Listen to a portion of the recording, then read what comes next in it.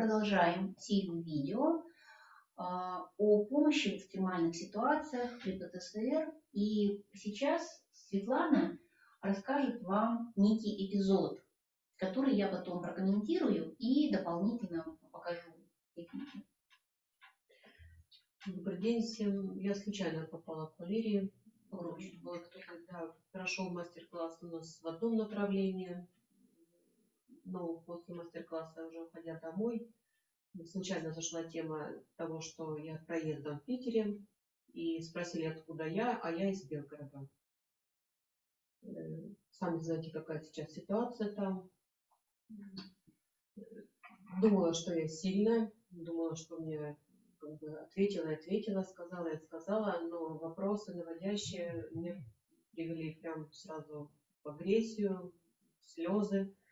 И Валерия Ивановна сделала мне простую практику, очень простую, казалось бы, элементарную, просто взяла меня за руки, и в течение 15 секунд мое состояние поменялось кардинально.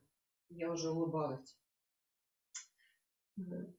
Эта практика какая-то нереальная, и она очень нам нужна, необходима всем людям, которые сейчас живут в приграничье, ну и всем, кто живет вообще э, на нашей родине.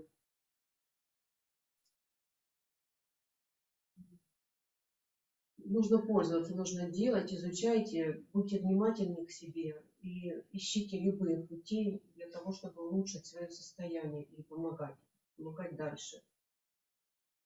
Так, и сейчас я продемонстрирую, как эту технику выполнять на тех людях, которым нужна помощь. Они получили известие, крайне неприятное для себя, то есть они потеряли, э, эта техника применима Ситуация, когда человек потерял что-то категорически ценное для себя, что является частью его.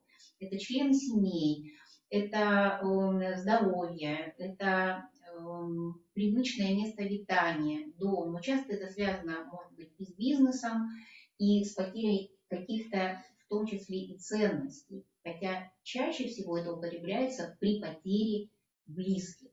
Итак, если мы наблюдаем, что человек находится в какой-то такой э, эмоциональной погруженности, а, горевания, то мы просим его решение взять за руки. Можно я вас подержу за руки? И со стороны мизинца есть косточка. Вот мы просим человека поговорить, либо подумать о том, что его так сильно печалит и волнует. А сами либо делаем вот такое разминание, либо легкое постукивание, в то время, когда человек думает или говорит, будь то взрослый, ребенок, мужчина, женщина, а, мы просим его погрузиться в проблему, и очень быстро, буквально в течение 15 секунд наступает облегчение.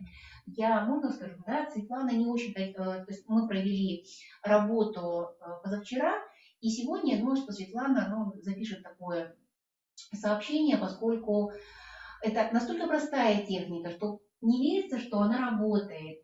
И Светлана сначала отказалась, ей не захотелось погружаться в то состояние, это болезненно. И прежде чем ее, ну, как бы, естественно, я сказала, ну, если это сложно, не надо записывать. И она хотела, она сказала, вот я потом, и мы потом поправим состояние. И я буквально подержала некоторое время, вот таким да. образом, появилась улыбка, мы не можем исправить того, что произошло. И, но тем не менее, наша э, спокойствие и позитивная составляющая позволит или не позволит нам, позволит, да, если они у нас есть, справляться с этой ситуацией, не сжигая себя. И после вот, вот такой простой практики Светлана согласилась это проговорить и поделиться, потому что, э, еще раз, техника реально настолько простая, что не верится, что она работает, но она работает. Если вы одни, вы получили э, известие, которое несовместно с тем, что э, мы можем осознать и прожить и вам тяжело, но тем не менее сделайте это для себя. Вот таким образом косточка на тыльной стороне руки со стороны мизинца, вы ее очень легко вот так простукиваете и думаете о том, что происходит, о том, что вас тревожит. Еще раз, Это касается потери. Вот эта точка работает, когда мы хотим восстановить себя после потери того, что мы считаем частью себя.